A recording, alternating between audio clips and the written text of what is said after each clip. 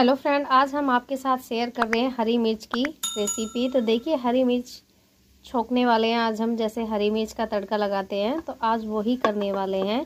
तो यहाँ पे हमने 250 ग्राम मिर्च ले ली है, और ये बिल्कुल भी तीखी नहीं होती है। आज इनको ही हम छोंकने वाले हैं। तो चलिए फ्रेंड, इनको पहले हम इनकी ये चीज़ अलग कर लेते हैं, और बीच में से हम इनको काट लेंगे। तो सभी की हम डंठल अलग कर लेंगे, इस तरीके से।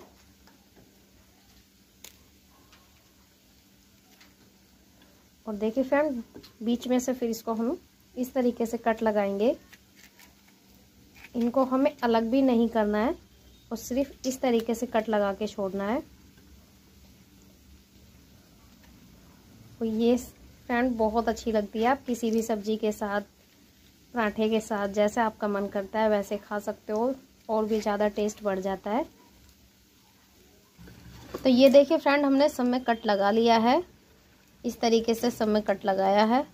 और देखिए, बहुत ही कचिया मिर्च है, इसलिए इसमें कलर आप देख सकते हो कैसा थोड़ा ये ब्लैक ब्लैक सा होने लगा है, कटिंग होने के बाद। तो देखिए फ्रेंड, हमने जो इसमें मसाले लिए हैं, वो हमने ये मसाले लिए हैं। तो यहाँ पे हमने दो चम्मच धनिया ले लिया है, पिसा हुआ। तो ये दरदरा धनिया है, ज़्यादा बारीक पिसा हुआ नहीं है। यहाँ पे आधी छोटी चम्मच अमचूर ले लिया, अमचूर पाउडर, और आधी छोटी चम्मच हल्दी पाउडर। आधी छोटी चम्मच यहाँ पे ले लिया है कुटी हुई लाल मिर्च। स्वाद अनुसार नमक ले लेंगे, दो पिंच हींग ले लेंगे। यहाँ पे हमने एक बड़े चम्मच सौंप ले ली है, और एक चम्मच हमने राई के दाने ले लिए हैं। तो ये सारे मसाले डलेंगे हमारे।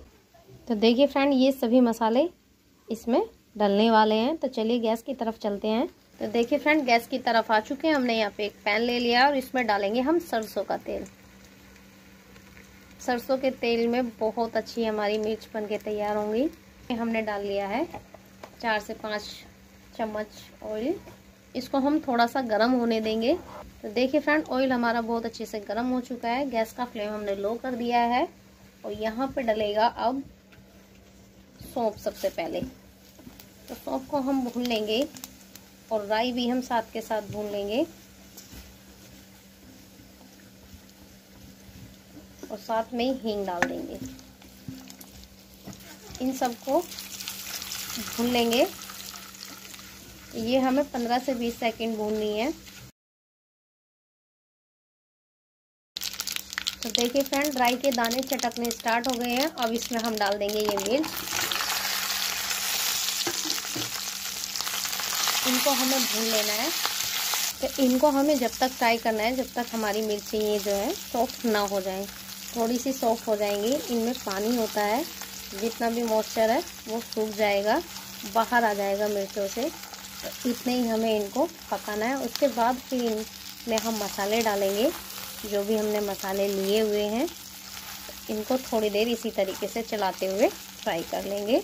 तो लगभग पाँच से सात मिनट लग जाएँगे इसको। तो ये जितने भी अभी आपको दिख रही हैं, ये मिर्चें कितनी मोटी मोटी हैं तो ये थोड़ी सॉफ्ट हो जाएँगी। इतने ही हमें इसको पकाना है तो आप अंदाजे से देख सकते हो कितनी मिनट लगती है। तो ये देखिए फ्रेंड ये सॉफ्ट होनी स्टार्ट हो गई तो आप देख सकते हो इस तरीके से इनमें निशान हो जाते हैं, जब ये थोड़ी सॉफ्ट होने लग जाती है। तो ये हमारी पकनी स्टार्ट हो गई है।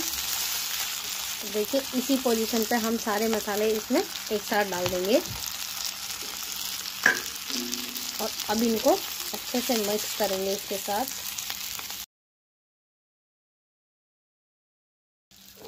तो देखिए, मसाले हमने भून लिए हैं। अब इसमें हम थोड़ी सी डाल देंगे छाछ।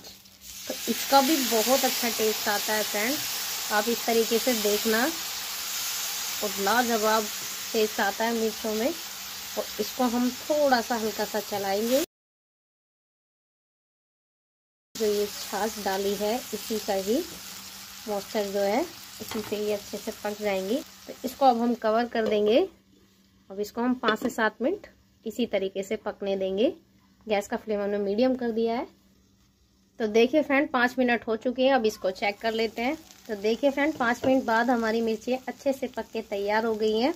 और ये हमारा मिर्चों का टेस्टी सा अचार बनके तैयार हो गया मिनटों में। तो आप इसको बना सकते हो। बहुत पसंद आएगा और सबको घर में बहुत ही पसंद आता है। किसी के साथ भी खा सकते हो। ये पराठों के साथ तो बहुत अच्छा लगता है। किसी भी सब्ज़ी के साथ इस तरीके से आप ले सकते हो। इसको हम निकाल लेते हैं एक प्लेट में। तो ये लीजिए फ्रेंड, मिर्चों का अचार फटाफट बन के तैयार है पाँच मिनट में।